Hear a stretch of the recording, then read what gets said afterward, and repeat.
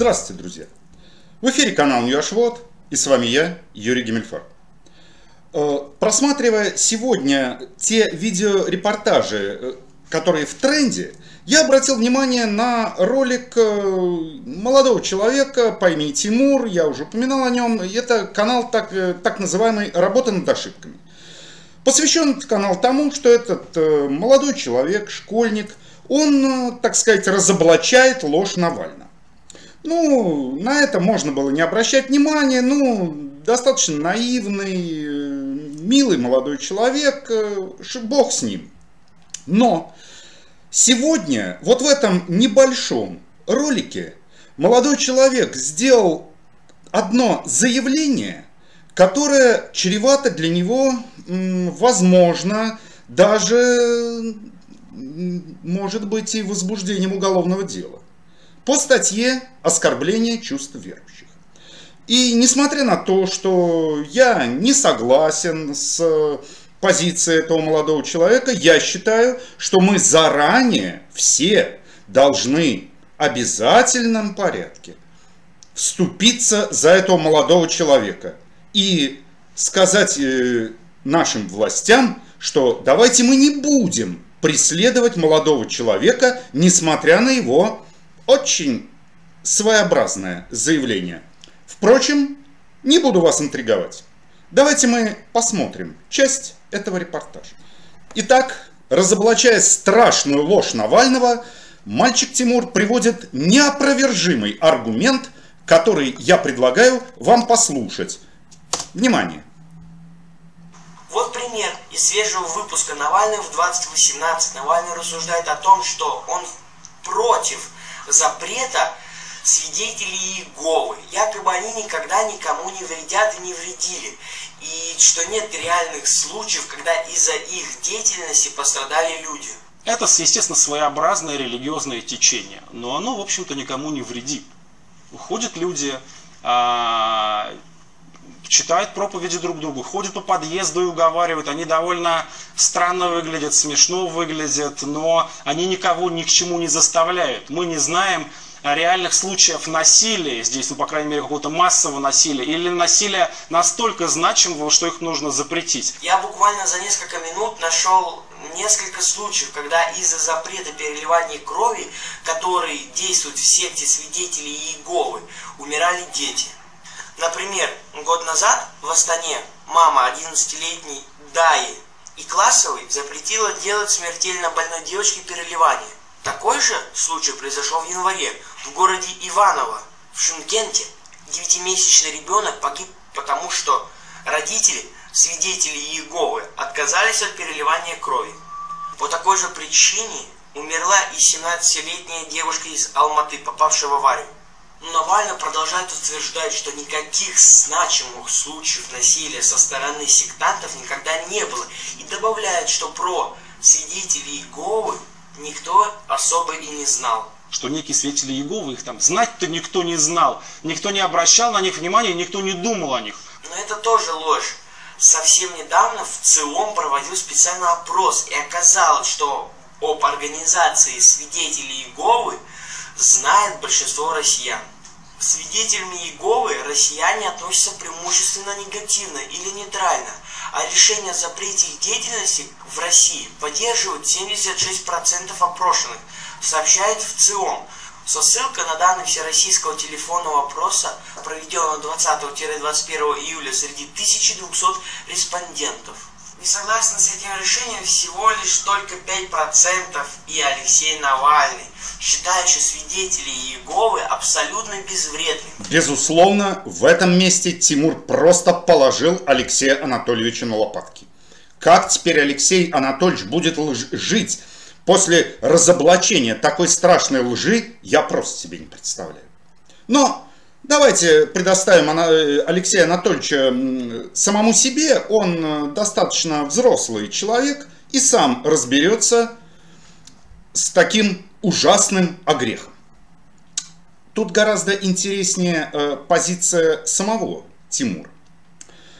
Ну, мне вообще-то было сначала немножечко странно, почему этот уважаемый Тимур приводит э, примеры исключительно из э, таких странных городов, как Астана, э, Шимкент, Алматы. Я просто предлагаю вам, Тимур, взять учебник географии за шестой класс, а судя по вашему виду, вы немного старше, но вы найдете.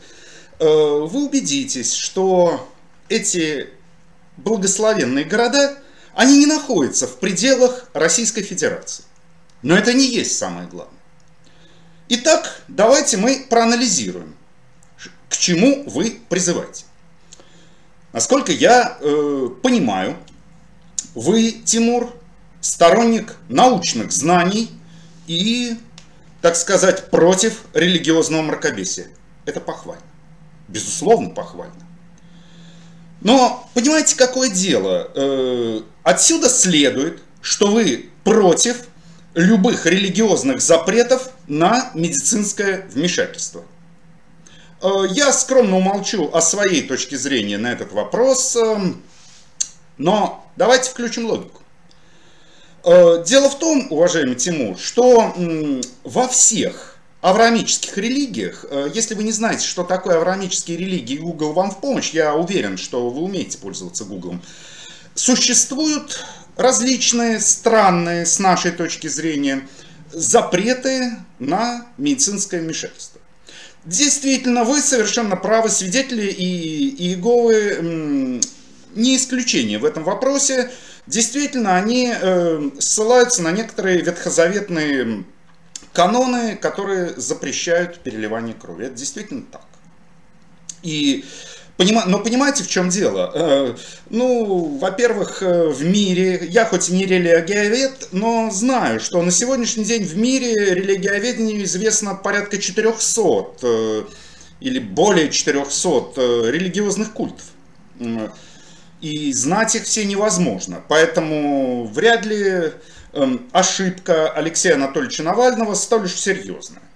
Относительно исследований в ЦИОМ. Ну, здесь я скромно умолчу о том, насколько этому можно верить. Ну, да бог с ним. Дело в вас, уважаемый Тимур. Если вы призываете к запрету на любое религиозное вмешательство в медицинскую деятельность, то для начала я предлагаю вам, уважаемый Тимур, ознакомиться с одним сайтом. Друзья мои, вот сейчас мы находимся на сайте Русской Православной Церкви, официальный сайт Московского Патриархата, Патриархия.ру. И давайте мы на сайте Патриархия.ру подберем документы за все время их существования по одному слову – аборты. Вы можете посмотреть, что тут найдено 60 документов, где, э, из которых следует, что Русская Православная Церковь категорически против абортов. Вот э, эти документы вот только за 2016 год. Вот сколько их? За 2015, 2014. Только вот э, и даже вот уже в январе 2017 года была э, последняя финальная резолюция 25 25-х международных рождественских образовательных чтений, в которых также осуждаются аборты. Заметьте, речь идет об официальном издании сайта, э, сайта Московского патриархата. Таким образом, дорогой Тимур, из ваших слов следует, что если по этим причинам необходимо было запрещать свидетелей Иеговы, или Иеговы, я не знаю, как правильно, то тогда это что же получается, друг мой, Тимур? Вы что же, призываете к запрету Русской Православной Церкви? Э, я только что вам показал, что РПЦ против абортов. Ай-яй-яй, Тимур, вы понимаете, что это оскорбление чувств верующих? Вы представляете, скольких людей вы, молодой человек, сейчас оскорбили? Оскорбили смертельно. Нехорошо. Чему вас только батюшка учил? На урок основ православной культуры в школе. Ай-яй-яй, Тимур. Я теперь даже не знаю, что и делать.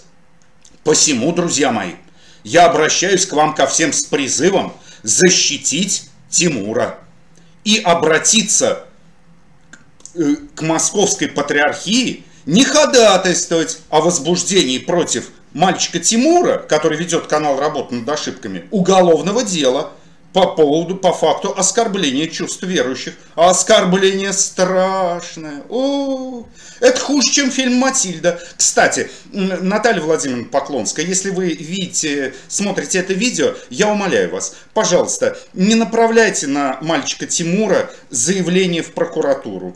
Э, он не подумавший это сказал. Как, впрочем, и все остальное он говорит. Ну, молод еще. А вот чтобы вразумить молодого человека, тут опять же я обращаюсь к самому патриарху Кириллу. Ваше Святейшество, пожалуйста, не наказывайте мальчика Тимура за такое кощунство, а для вразумления отрока вы его к себе в церковно-приходскую школу возьмите и там учите отрока уму, разуму. Авось поумнеет. Всего вам доброго. Подписывайтесь на канал Ньюашвод. Будут вопросы, присылайте, обсудим. До встречи.